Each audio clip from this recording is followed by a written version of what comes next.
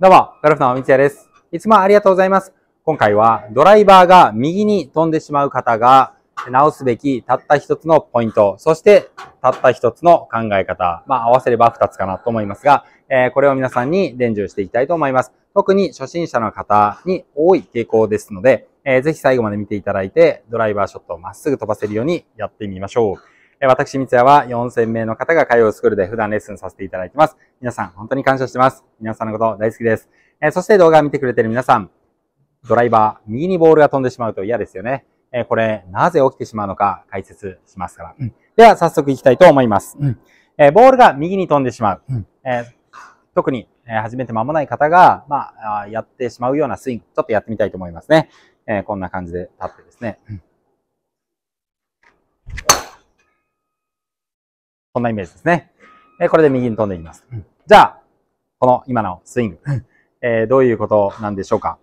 えそれは、この右足のつま先です。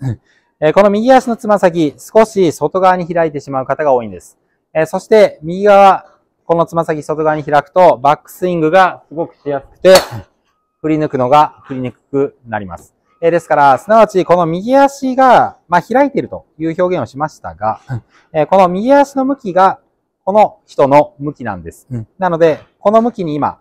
このマットに対してまあ右に向いてるわけですが、えこの向きに右足があるということは、すなわち、この人はこっちに向いているということです。それって右だよね。という非常に単純なことが起きています。えですから、この右足をまっすぐにしていけばいいということです。あなんでそんなことで治るのかと思いきや、なかなかそれがうまくいかない。えー、そこでもう一つのポイントですね。やるべきことは今言ったように、つま先をまっすぐにするということなんですが、えー、そこで、それをやった時に、えー、起きることというと、えバックスイングで上げた時に、バックスイングがしにくく感じます。え浅くしか上がらない。要するに大きく上げられない感じになります。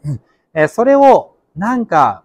上げにくい、スイングしにくいんだけど、と最初は思ってしまうと思うんですが、それで大丈夫です。えー、そもそもバックスイングは大きく振り上げるものではありませんので、えー、バックスイングは少しコンパクトに上げて、えー、振っていけばいいんです。えゴルフのスイングというのは、ボールを投げる動作に近いと言われています。まあ、アンダースローとかサイドスローに近いと言われています。えボールを投げるのに後ろにこんなことすることはありません。後ろに投げるのは大したモーションはなく、前に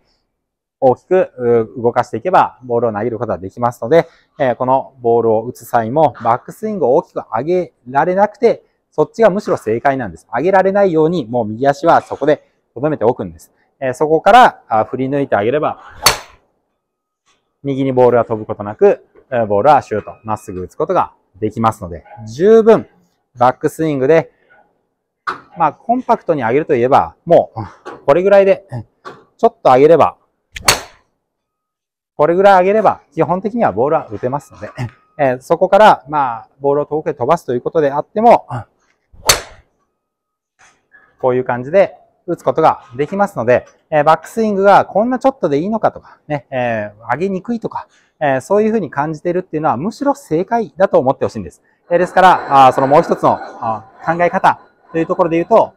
バックスイングがしにくくて、上げにくくて、小さくなっちゃうよ。えそれで正解だよということですね。まあ、それでもいいから頑張ってやってねということではなく、むしろそれが正解なんですね。えやりにくいけど頑張ってね、なんだかやりにくいけどやろうね、じゃなくて、正解なんです、それが。ですから、もうそれはドストライクなんです。えなので、そこが正しい形だよということを認識して、で、どんどん左側に勢いよく触れるようになっていけば、えそれで右にボールが飛ぶことなく、シュッといけますので、えー、ぜひ皆さん、このやるべきことを一つ覚えていただいて、えそれだけだと、もうやってる先からもうまたこんな戻っちゃって、そして、こんな風になってしまいますので、えこれでは、あね、直すことはできませんので、えその考え方なんですね。これが正しいと思えなければ、